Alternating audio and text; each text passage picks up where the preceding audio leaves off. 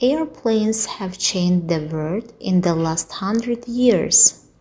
But this great change began with two ordinary people Orville and Wilbur, two brothers. They had a bicycle shop in Ohio, USA. They were good at making bicycles. Planes were their real interest. At that time, people knew how to make and fly gliders, but nobody could make a plane and fly it. There were two problems. One was about strong wings. The other was that planes crashed when they wanted to land. The Wright brothers built a plane in their bicycle shop.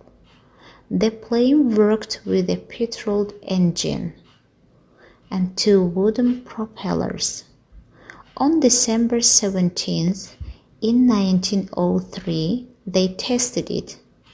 The plane weighed 275 kilograms.